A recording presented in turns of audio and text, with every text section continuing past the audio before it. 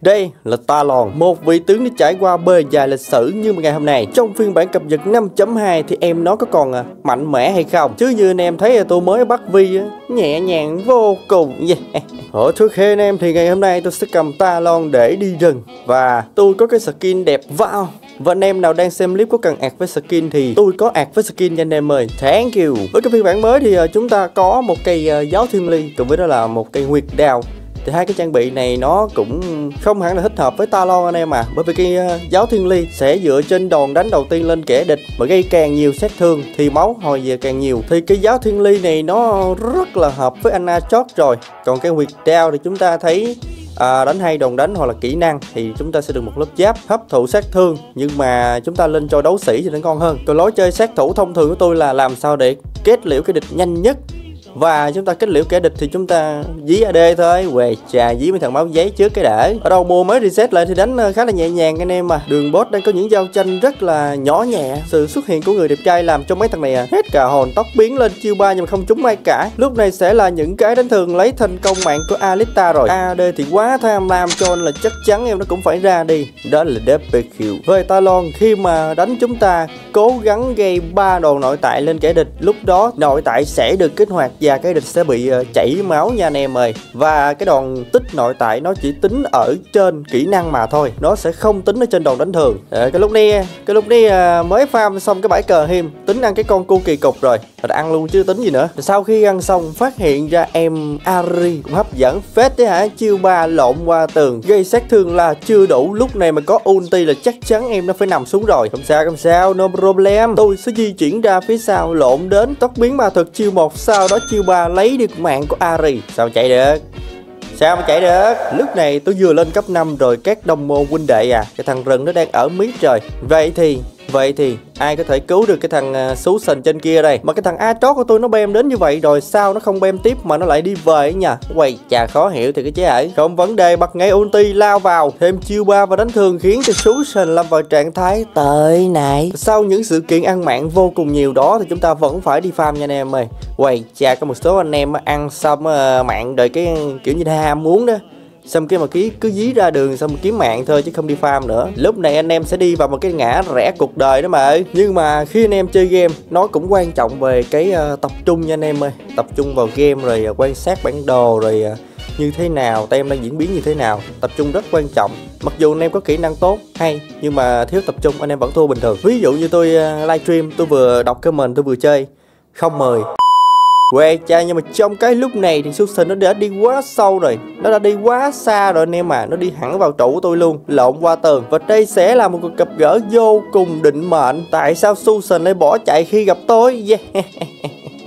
tại nó sợ đó mà. Không những có tôi và chót được, Lissandra cũng có mặt. Susan đã bùng cháy đánh hạt thông nổ để bỏ chạy ulti của tôi đã vả vào người của em ấy rồi. Lộn qua tường để à, kiếm em nhanh hơn. Chạy cho sơm vô chạy cho sơm vô. Anh có lượng qua tường đó mà. Thế là tôi lấn thân vào sobit lấy được mạng của Susan quay trở lại khu vực ở phía sau. Đó là một tình huống 2 vs 1 Lissandra đã ra đi từ lâu rồi. A chót lấy được mạng của Ari và tôi lao vào khiến cho Vi hết cả hồn lộn qua tường, trừng phạt lấy cái mạng của em nó. Yeah. tại sao tôi lại trừng phạt nó? Tại vì nó hư lắm nha. Rồi sẽ khi trong tình hình hiện tại à, có rồng rồi anh em à và chúng ta sẽ kiểm soát con rồng đầu tiên. Ai da bò lạc bò lạc anh em ơi. Yes sir. Lâu lâu mà cứ có mạng như thế này thì nhanh chóng giàu thôi anh em à tranh thủ cái lúc mà vi mới hồi sinh thì tôi sẽ nhanh chóng lụm con rồng nước để lấy chỉ số cho tay mình nha anh em ơi. Con này là con rồng nước nó sẽ có về chỉ số hồi máu nha. Tôi có nghe nói uh, nâu tilet inbox là bắt con tăng đi. What the hell? I mean lúc này Ari cùng với Vi đã đến cướp thành công con rồng của tôi. Gạch đem hên là tôi bời kịp anh em à nhưng mà nâu tuyết kêu bắt con tăng đi là sao ta?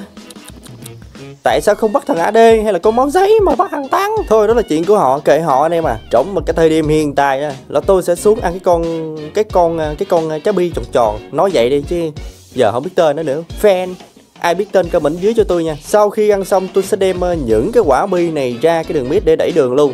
Mà đặc biệt là tôi đẩy em Mari trước lao vào combo một cái nhẹ anh em cũng có thể thấy cái lượng máu của em Mari giật như thế nào. Và ba quả bi của tôi đã lấy đi một uh, khá là nhiều máu trụ. Đây sẽ là cơ hội ép đường và tôi sẽ ờ, ép cái đường này cho lấy được cái trụ mid luôn. Nhưng mà cái lúc đó không có lính để bơi trụ cho nên là phải uh, đi về thôi anh em mà và lúc này Đầu Nautilus có mặt ở khu vực đường dưới kéo thành công con Alita rồi. Đúng như anh ấy nói, bắt con tăng đi. Thôi kệ không vấn đề gì. Chúng ta đang hơn tiền, hơn đồ mà. Tôi lao vào Alita nhưng mà bị hất tung. Sau đó hất tôi ra ngoài kia tôi về đi? Ơi cha cái tình cảm này anh em mình à mãi mãi như vậy nhé Alita. Sau khi lên xong súng hải tặc thì tôi uh, tự tin vào cái khả năng bắt người của mình. Chiêu ba trước này sau đó bật ulti chiêu một đủ nội tại và vô cùng nhẹ nhàng khi 999 đam là ngập mồm tóc biến để chạy. Ở trước khe và sau đó tôi lên để mà dọn lính đẩy đường cao lên. Đó là điều chúng ta cần làm trong những giây phút như thế này. Thế lính cao sẽ giúp cho chúng ta kiểm soát biên độ tốt hơn. Cùng với đó là chúng ta cũng có thể gây sức ép lên tem địch tem tôi lúc này quyết định là đẩy thẳng và muốn win rồi anh em mà. Là Atrox cùng với người anh em năm xưa Nautilus đang quấy đảo ở tem địch can thẹn can thẹn thiệt nha con rồng thứ hai lúc này đã chuẩn bị uh, lấp ló lò đầu ra rồi. Đó là một con rồng đất. Và thằng khứa nào đang chạy xuống đi đấy ấy nhưng mà ăn con rồng đi để tính tiếp. Và con rồng đất này nó cho chúng ta chỉ số về giáp cùng với được kháng phép. Chỉ số cho cả tem là có. Nhưng mà tem tôi đang ờ, giao tranh ờ, y xèo trên kia quá trời quá đất luôn. Atrox đã rời bỏ nơi này và đi về. Cái nơi vĩnh hằng. Tôi đến đây, tôi đến đây. Những lúc mà tem bên kia hết máu như vậy thì tôi đến đây. Thằng ad đứng đó biến về hả?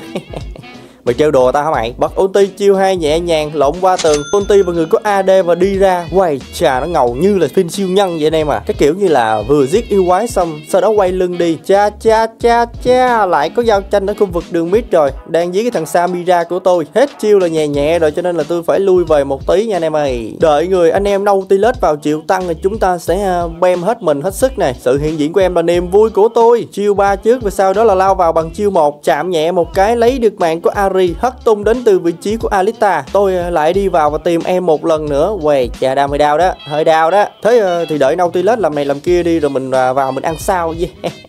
À, Susan tới luôn rồi. Thôi bỏ đi. Ấy mà anh em cũng có thể thấy chúng ta vào trong đầu mùa thì nó khá là dễ dàng leo ranh ở các mức ranh à, như là bạch kim lục bảo. Đó là từ cao thủ đại cao thủ trở xuống uh, mặc dù nó là khá khắc nghiệt nhưng mà có những trận đấu ghép với tem bên kia khá là dễ chơi nè mà còn khoảng từ tranh tối cao trở xuống thì sẽ uh, xuống được uh, kim cương kim cương 4 là vớt vát vô cùng như cái trận đấu này chúng ta thấy nó khá là dễ chơi quầy chà dễ chơi thiệt đó mà à, đúng rồi xạo xạo dễ dễ dễ đi quả chữ này chưa và ok, anh em thích video của tôi thì đừng quên bỏ lại một like, một share và đăng ký để ủng hộ kênh tôi nhé. Cảm ơn anh em rất nhiều. Sợ thank you. Song ngữ nè. Ladies and gentlemen, if you like my video, can you uh, team and đăng ký? Thank you.